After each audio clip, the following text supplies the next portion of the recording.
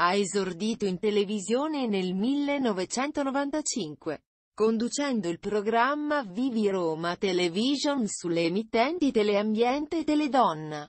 Tra il 2009 e il 2010 è stato ospite di alcuni programmi televisivi, tra cui La vita in diretta su Rai 1. Rai 3 gli ha dedicato un servizio nel programma Gente di notte nel 2005. È stato ospite di Simona Ventura nella Grande Notte del lunedì, protagonista in I Dieci Comandamenti, nella puntata dal titolo Arrivederci Roma, il 12 settembre 2015 condotta da Domenico Iannacone.